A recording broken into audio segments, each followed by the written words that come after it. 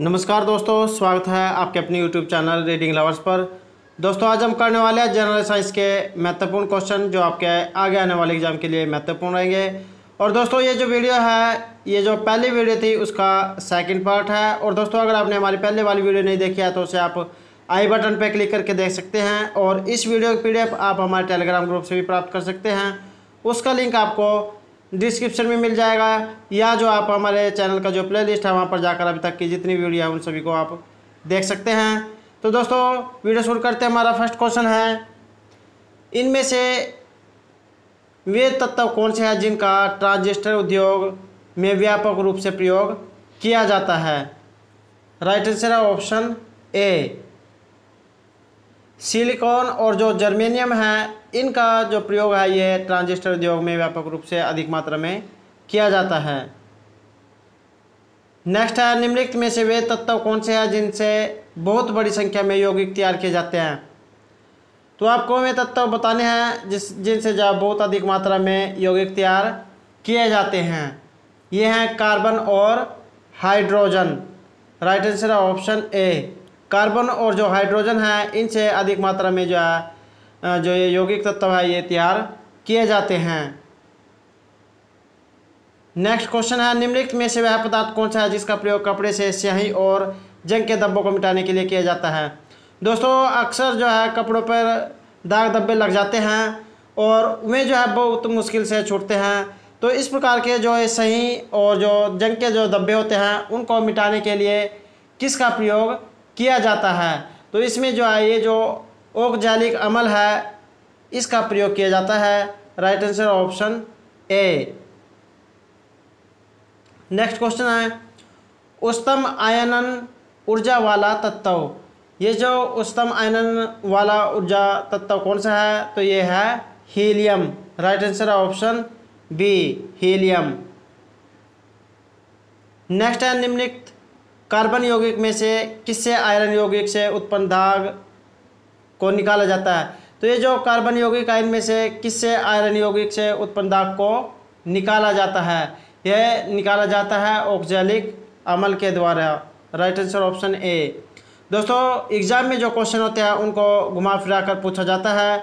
इसलिए जो है, क्वेश्चन को घुमा फिरा कर जो है, दिया गया है। आपको क्वेश्चन में उलझना नहीं है और क्वेश्चन को जो ध्यान से पढ़ना है। क्योंकि क्वेश्चन एक ही होता है, उसको जो है लाइन को आगे पीछे कर दिया जाता है। नेक्स्ट है, चीनी के उत्पादन में ये जो उप उत्पाद है, सीरा, ये किस पदार्थ में बदला जाता है? तो जो चीनी है, इसके उत्पादन में जो सीरा बनता है, किस पदार्थ में इसको बदला जाता है? इसको जो है अल्कोहल के रूप में बदला जाता है। ये जो चीनी जो होते हैं, इसको जो है सिरे के रूप में बदला जाता है, जिससे जो वाइन होती है शराब, इसमें इसका प्रयोग होता है। नेक्स्ट है, निम्नलिखित में से किसका आस्कंदन कारक के रूप में मृदु पेय के निर्माण में प्रयुक्त किया जाता है? ये जो आस्कंदन है, ये जो आस्कंदन है, कारक के रूप में मृदु पेय के निर्माण में प्रयुक्त किया जाता है तो इसका प्रयोग होता है फास्फोरिक अमल का राइट आंसर है ऑप्शन ए फास्फोरिक जो अमल है, इसका प्रयोग आस्कंदन कारक के जो मृद रूप पेय के निर्माण में प्रयोग किया जाता है। नेक्स्ट क्वेश्चन है हाइड्रोक्सी समूह वाला ऑर्गेनिक अमल। ये जो हाइड्रोक्सी समूह वाला जो ऑर्गेनिक अमल है, ये है कार्बोलिक अमल। Right answer option B hydroxy समूह वाला ऑर्गेनिक अमल। कार्बोलिक अमल। नेक्स्ट क्वेश्चन है कोका कोला का खट्टा स्वाद किसके अस्तित्व के कारण होता है? तो ये जो दोस्तों, जो शीतल पेय है कोका कोला लिमका, पेप्सी तो इस प्रकार से जो ये शीतल पेय हैं, इनका जो ये खट्टा स्वाद है, ये किसके अस्तित्व के कारण होता है? तो ये होता है फॉस्फोरिक एसिड के कारण। राइट आंसर है ऑप्शन बी, फॉस्फोरिक एसिड के कारण जो है कोको कोला का जो खट्टा स्वाद है ये होता है। नेक्स्ट क्वेश्चन है, एनोमेल एक मिश्रण है। ये जो एनोमेल है, ये किसका मिश्रण है? तो ये जो एल्युमिनियम पाउडर और जो अमोनियम नाइट्रेट है, इनका जो ये मिश्रण है। राइट आंसर है ऑप्शन ए, एल्यूमिनियम पाउडर और अमोनियम नाइट्रेट का। दोस्तों, ये जो रेलवे के या जो एसएससी के जो एग्ज़ाम होते हैं, जिसमें इस प्रकार के जो साइंस से संबंधित क्वेश्चन पूछे जाते हैं तो उसकी दृष्टि से ये महत्वपूर्ण क्वेश्चन है, क्योंकि एग्ज़ाम में जो है, इसी प्रकार के क्वेश्चन पूछे जाते हैं। तो ये जो एनिमल है, ये एलुमिनियम पाउडर और अमोनियम नाइट्रेट का मिश्रण है। नेक्स्ट क्वेश्चन है, वातावरण में ये जो सल्फ़र डाइऑक्साइड है, की मात्रा को किसके प्रयोग से कम किया जा सकता है? तो ये जो सल्फ़र डाई ऑक्साइड है, इसको किसके प्रयोग से कम किया जा सकता है? तो सही आंसर है कम सल्फ़र वाले ईंधन के द्वारा। Right answer option D. Next question है, बड़े नगरों में वायु प्रदूषक का मुख्य कारण। ये जो बड़े बड़े जो नगर है, महानगर है, इनमें जो वायु प्रदूषण अधिक होता है तो इसका मुख्य कारण क्या है? तो ये है निलंबित कण। राइट आंसर ऑप्शन बी बड़े नगरों में वायु प्रदूषक का जो मुख्य कारण है, निलंबित कण। नेक्स्ट क्वेश्चन है पायराइट अयस्क को जलाने से मिलती है। ये जो पायराइट अयस्क है, इसको जलाने से क्या मिलती है? तो इसको जलाने से जो सल्फ़र डाइऑक्साइड गैस प्राप्त होती है। Right answer option B pyrite अयस्क को जलाने से क्या मिलती है? तो इसको जलाने से सल्फ़र डाइऑक्साइड जो गैस है, ये उत्पन्न होती है। नेक्स्ट है प्रदूषण नियंत्रण कार्यक्रम का उद्देश्य है, इनमें से किस अपशिष्ट को नदियों में विसर्जन को कम करना है? तो हर ये जो प्रदूषण नियंत्रण जो कार्यक्रम चलाए जाते हैं, इनका उद्देश्य यही होता है कि जो नदियाँ होती हैं, उनका जो जल है वो जल्दी गंदा हो जाता है। तो उसके जो अपशिष्ट पदार्थ है, उसको कम करना के उद्देश्य से ये कार्यक्रम चलाए जाते हैं। तो यहाँ पर यह पूछा गया है कि इसका जो उद्देश्य है, इनमें से किस अपशिष्ट को नदी में विसर्जन को कम करना है? Right answer option A oxygen हरासक तो ये जो ऑक्सीजन का जो नाश करने वाले जो तत्व होते हैं, उनको कम करने का जो है ये उद्देश्य है। नेक्स्ट है, निम्नलिखित में वह कौन सा मला जो मूलतः कार्बनिक नहीं है?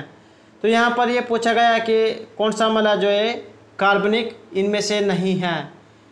तो ये है सल्फ्यूरिक अमल राइट आंसर ऑप्शन बी ये जो सल्फ्यूरिक अमल होता है, ये ऐसा अमल है जो कार्बनिक नहीं होता है। दोस्तों एग्ज़ाम में ये क्वेश्चन बहुत बार पूछा जाता है कि ऐसा कौन सा तत्व है या जो कार्बनिक नहीं है तो सल्फ्यूरिक अमल जो ऐसा अमल है जो कार्बनिक अमल नहीं है। नेक्स्ट क्वेश्चन है हीलियम से बड़ा गुब्बारा वायु में उड़ने लगता है तो इसका जो है क्या कारण है? ये जो हीलियम होती है, इससे बड़ा गुब्बारा वायु में आसानी से उड़ जाता है। तो इसका कारण है कि हीलियम का जो ये घनता होता है, ये वायु से कम होता है। Right answer option C.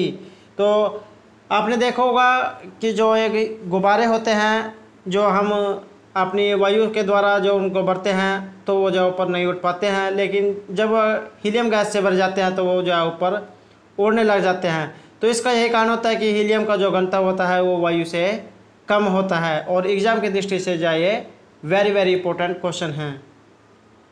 Next question है, यदि आप स्थिर वायु में दूर कणों को देखने के लिए एक सूक्ष्मदर्शी का प्रयोग करें तो वे आपको हर समय इधर उधर चलते हुए दिखाई देंगे।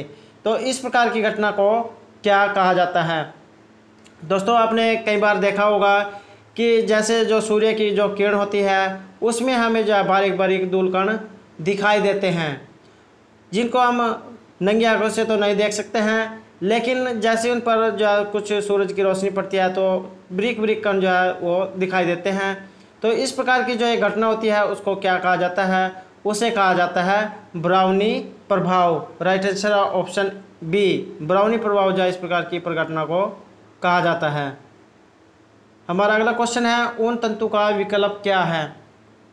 ये जो ऊन के जो तंतु होते हैं, धागे होते हैं तो उनका विकल्प क्या है? Right answer option B nylon nylon जो है ऊन तंतु का विकल्प है। नेक्स्ट क्वेश्चन है, मसाला या मटर एक मिश्रण होता है, जल, बालू और इनमें से किसका?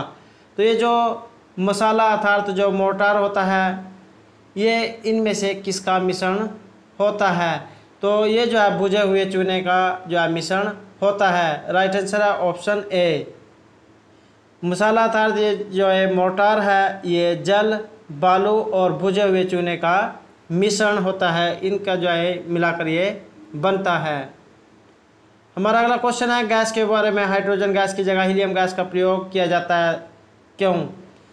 दोस्तों, मेरे द्वारा आपको पहले बताया गया है कि एग्ज़ाम में जहाँ क्वेश्चन वही होता है, लेकिन उसे जहाँ घुमा फिरा कर आगे पीछे लाइन को करके पूछा जाता है। तो यहाँ पर पूछा गया है कि गैस के बारे में जो हाइड्रोजन है, इस गैस की जगह हीलियम गैस का प्रयोग ही क्यों किया जाता है? राइट आंसर है ऑप्शन सी अदहना के कारण। तो दोस्तों, ये थे हमारे आज के जनरल साइंस के महत्वपूर्ण क्वेश्चन दोस्तों, अगर आपको हमारे क्वेश्चन अच्छे लगे हो तो हमारे चैनल को सब्सक्राइब कीजिएगा लाइक कीजिएगा और ज़्यादा से ज़्यादा ग्रुपों में शेयर कीजिएगा। तो दोस्तों, मिलते हैं नेक्स्ट वीडियो में।